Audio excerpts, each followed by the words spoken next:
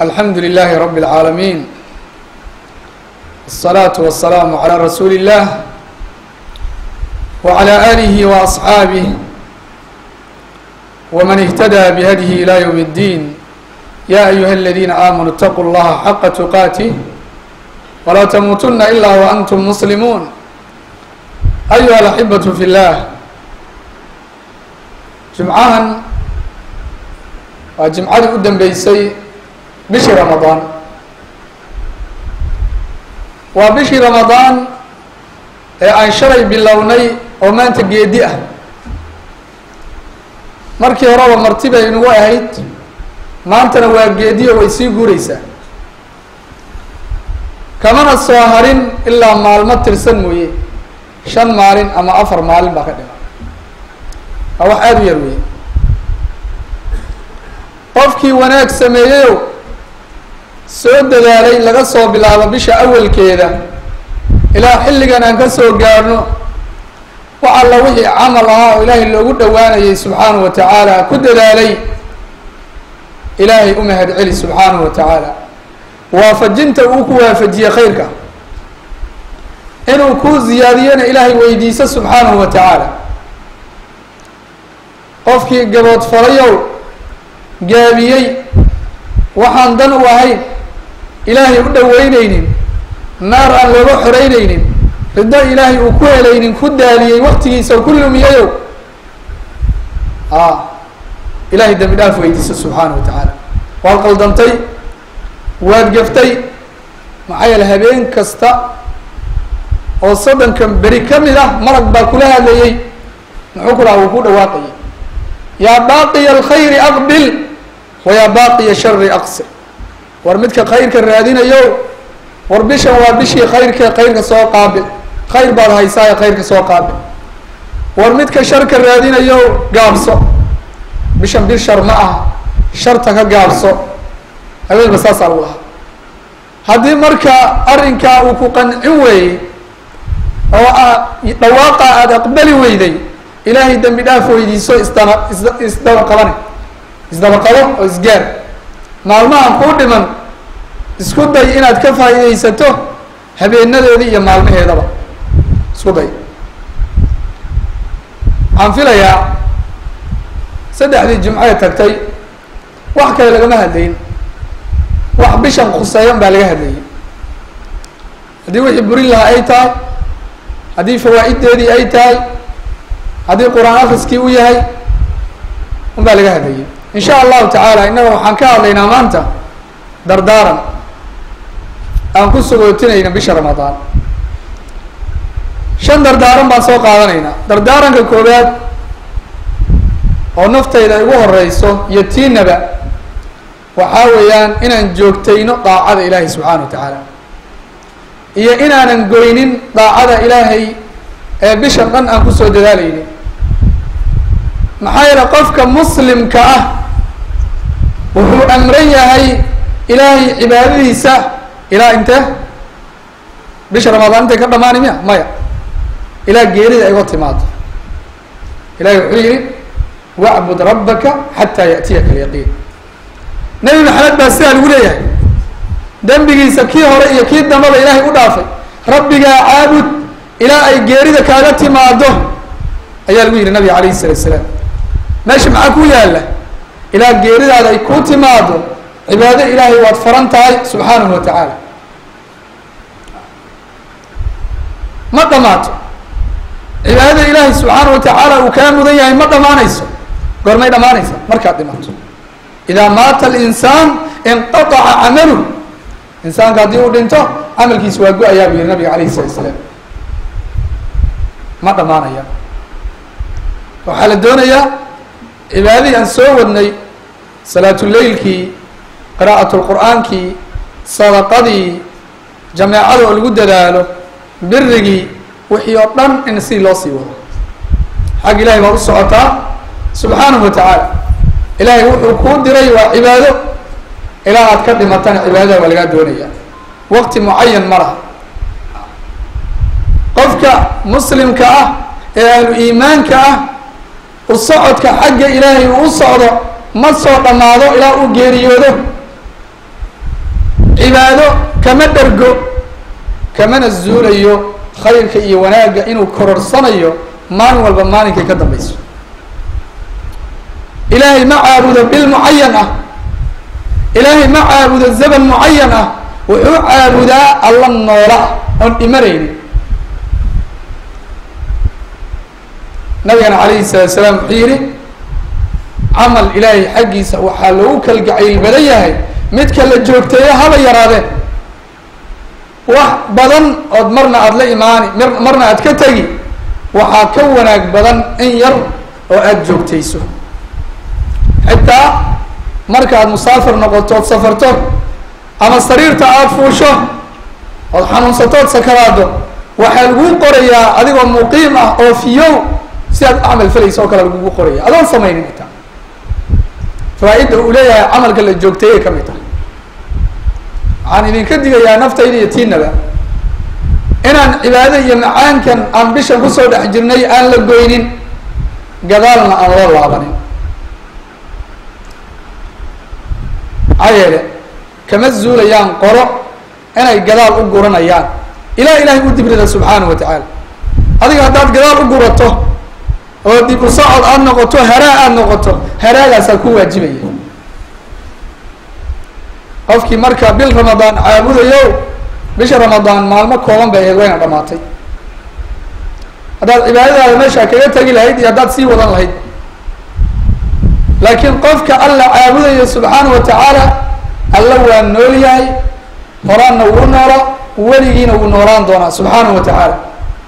Weligii buu jiri doonaa inta adiga aada jirto inaad rabbigaa caabuddo subxaanahu wa tacaala. Kaa waa dardaarankooda dardaaranka labaad bisha dhammaanshaheeda iyo sagootinteeda alla subxaanahu wa tacaala wuxuuna amray arrin muhiim ah. Arrin muhiim ah ayuuna amray. Arrinkaa waxaa weeye inaad ilaahay weyneyno subxaanahu wa tacaala.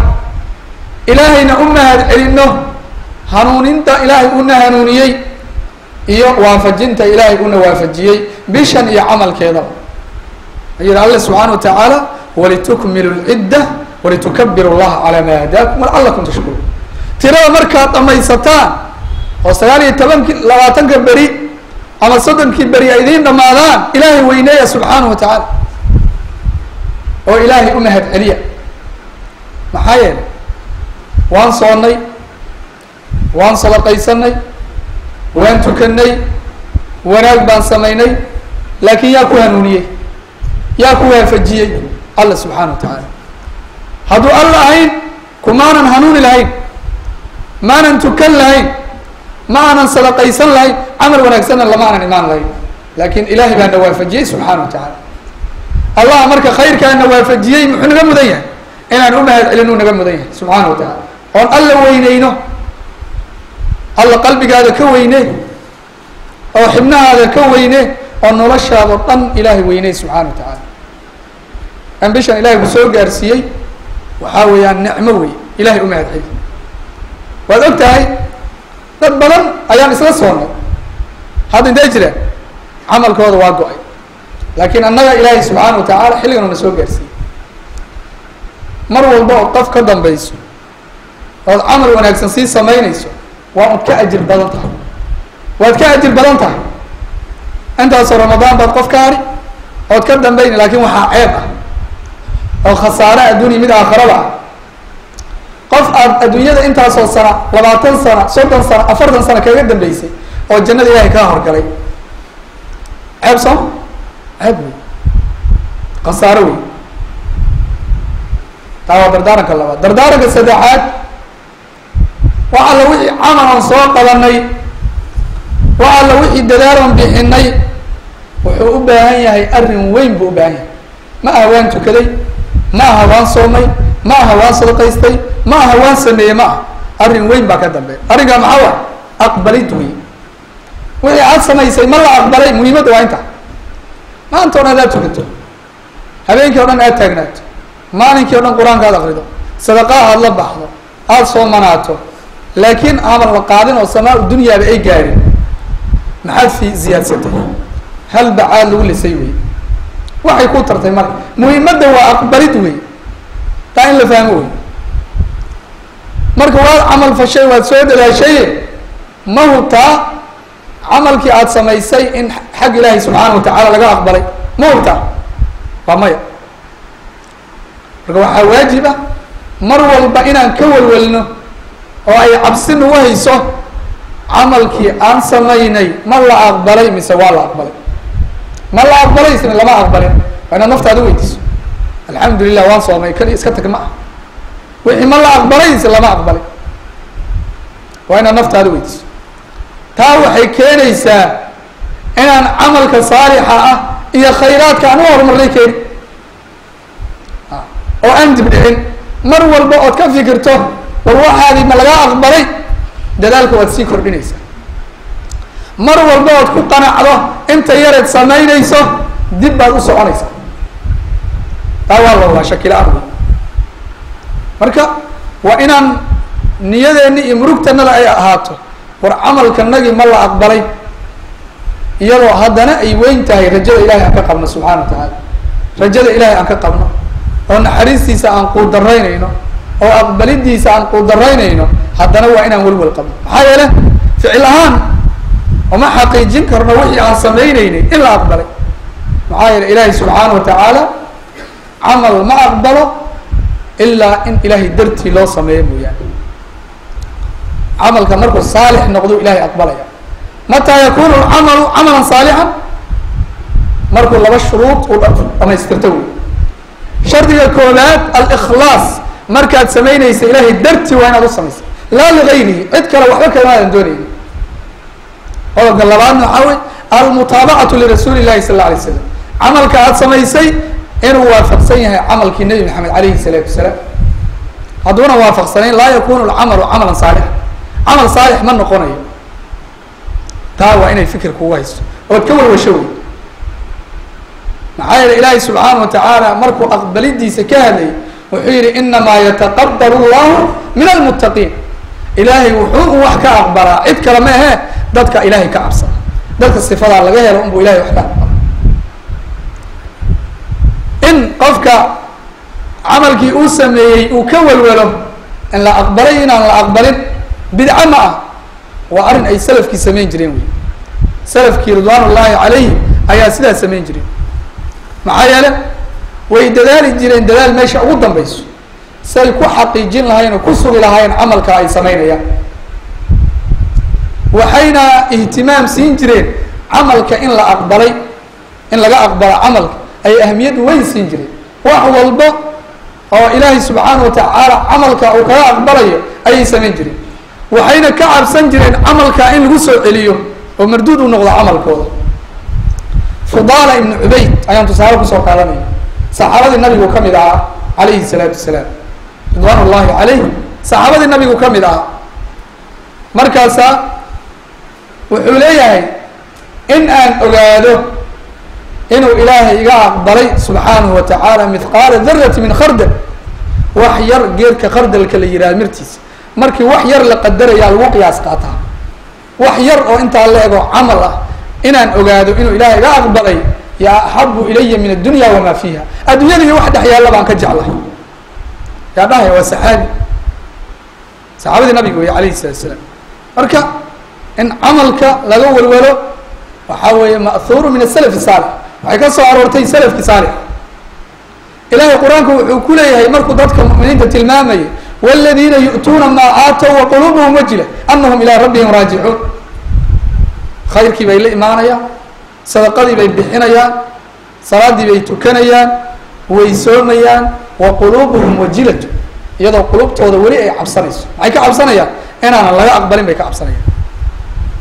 Maxay u cabsanayaan? Anahum ilaa rabbihim raajicuun. Waxay u laaban doonaan rabbigood subxaanahu wa tacaala. Cabsidaasay qabaanoo wax walbo ay sameeyaan marne qaneeco qalbigooda ma gelayso. Oo ma dhahayn boqol kiiba boqol waa la aqbalay. Cabsi baa qalbigooda ku jirta. Ilahay muxuu yihi ulaaئika yusaaricuuna fi اlkhayraat cabsidii camalkii iyo khayrkii in la aqbalay inaan la aqbalin ay ka cabsanayeen maxay keentay? Waxay keentay inay khayrka ku hormaraan bay keentay. Aynan gaabinin. Wahum laha saabiquun. Ilahay wuxuu yihi kuwaa waa kuwa horumaray buyi yay ka hormareen hayrkood bay ka hormareen. Waxay ka hormareen qofka caajizlaha ee markuu salaad yaroo afar ragcadood u tukado naftiisa ku qanciya alla ilahay meel dheer baad joogtaa. Salaaddii baad soo tukatay. Soddonkii beri kuma dhaafin tahajudkii habeenka oo kamaadan baaqan naftiisa ku qanciyo kaasay ka hormareen marka waa laga hormaray. Meesha aad ka fikiri guri iyo xoole iyo awlaad iyo xaasas iyo dad kaga hormar xag ilahay baa lagaga hormaraya adigana xag ilaahay ayaa lagaga hormaraya. Marka waa inaad halkaa fiiriso wey. Kuwa iyaga aayaddaa markay akrisay caaisha umuna caaisha radi allahu canha ayaa nabiga weydiisay rasuulka ilaahay ow kuwan markay wanaagga sameeyaan haddana qulubtooda ay weli cabsanayso. Ma kuwa tuugada ee wax xadaya miya zinaysanaya ee khamrada cabaya miya. Ha waa tuugo waxbay xadaan way zinaystaan khamradana way cabbaan. Kadibna camal saalix bay sameeyaan sidaasaa cabsida keenaysa miya. Markaasaa wuxuu yihi maya sidaa ma aha. Sadiiq gabadhiisiye sidaa ma ahee kuwa iyaga waa kuwa tukanaya ee soomaya ee sadaqaysanaya kadibna ka cabsanaya inaana laga aqbalin. Cabsidaasay qabaan. Saxaabadii nabiga iyo salafkii waxay ahaan jireen bisha ramadaan markay u dhammaato ilaa lix bilood ayay gacmaha kor u taagi jireen. Ilahu ramadaankii naga aqbal. Ilahu camalkii aan samaynay naga aqbal. Lix bilood wey inta dambe lixdaa bilood wixii ka dambeeyo waxay ku ducaysan jireen. Ilahu ramadaanka soo socdana gaarsii ay ku ducaysan jireen. Ahay. Dardaaranka afaraad waxaa weeyaan camal walba dhamaanshihiisa iyo gebagabadiisa arrimaha la inoo jideeyey ee ilaahay xaggiisa laga jecel yahay waxaa ka mid a aliktaaru min alistikfaar qofka inuu dembi dhaafka ilahay weydiisto. Dembi dhaaf inuu ilahay weydiisto maxaad ilahay dembi dhaaf weydiisanaysaa addoon baa tahay xil baa lagu saaray. Xil baa lagu saaray. Yaa ku saaray ilaahay. Ilaahay xaqu lahaa boqol kiiba boqol ma gudan karta. Maya. Si la rabay uma gudan karta. Wixii gaboodfal ah ama gaabin ah oo kaa imaado ilaahay weydiisa inuu ku dhaafo waxaa tusaale u ah nabiga calayhi salaatu salaam salaada waajibka markuu ka baxo oo dadka uu tujiyo isagoon soo wareegin muxuu dhihi jiray? Istakfir llah istakfir llah istakfir llah saddex jeer ayuu dhihi jiray istakfir llah oo salaad camal wanaagsan buuba ka dambi dhaafka ilahay u weydiisanaya waxaa weeye ilaahayow camalkii iyo shaqadii aada noo dirtay wixii aan ka gaabinay ilaahu noo dhaaf. Si la rabay aada rabtay waxaanan ugudinin u gudanin ilaahayow inoo dhaaf wey acmaasha xajka gebagabadoodii waxaa la yihi uma afiiduu min xayثu afaada الnaas wastakfir الlah waa gebagabadii camalka ilahay dambi dhaaf weydiista sidoo kale sadaqadii soonkii inaad ilahay dambi dhaaf weydiisato khaliifat rashid cumar ibn cabdilcaziiz radi allahu canhu ayaa gobolada iyo tuulooyinka hoos yimaada dadka ka taliya ayaa wuxuu u qori jiray war istikfaarta badiya bil kasta oo ramadaana gebagabadeeda istikfaarta badiya ilahay dambi dhaaftiisa weydiista subxaanahu wa tacaala marka waa sida. Waxaan ku soo gebagabaynayaa qodobka shanaad uu yahay. Ilaahay subxaanahu wa tacaala wuxuu inoo jideeyey bisha ramadaan gebagabadeeda iyo dhammaanshaheeda inaan bixino zakaatu lfitri ama takarsoon waxa la yihahdo inaan bixino oo zakada waa zako laakin waa zakaatu lbadan wey badankaa laga bixiya jirkaa laga bixiya tii xoolaha waa gooni tanna naftaadaad ka bixinaysaa. Waana shay farad ah oo nebi maxamed alayhi salaatu salaam uu farad yeelay wey fi saxiixayn waxaa ku sugan in maxaa lahay cabdullahi ibni cumar radi allahu canhu nabiga ka wariyey rasuulka alle ayaa wuxuu farad yeelay zakaata alfitri saacan min tamrin aw saacan min sha'ir saac timir ah iyo saac qamadi ah yaa lagu waajibiyey cala alcabdi wاlxur addoonka ama midka xorka. Cala asagiiri wاlkabiir midka weyni midka yar xalay hadduu dhasho? A ayaga ciid hadduu dhasho? Waad ka bixinaysaa. Waad ka bixinaysaa waa lagu leeyahay. Marka waxaa laga bixinayaa lab iyo dhadig waa laga bixinaya. Ya laakiin dadka waxay khaas ku tahay muslimiinta. Weliba nabiga wuxuu amray calayhi salaatu salaam in la bixiyo dadka intaysan salaada u bixin intaanan salaada la aadin in la bixiyo. Taa iyada ah zakaatulfitriga waxay kabaysaa camalkii aan samaynay bisha ramadaan dhexdeeda. Ayay kabaysaa. Waxay zuulinaysaa wax alla wixii lagwi ah oo aan fiicnayn oo ramadaankii dulduleel soo gaarsiinaya ama cantarabaqasha oon dan ku ahayn ayay tirtiraysaa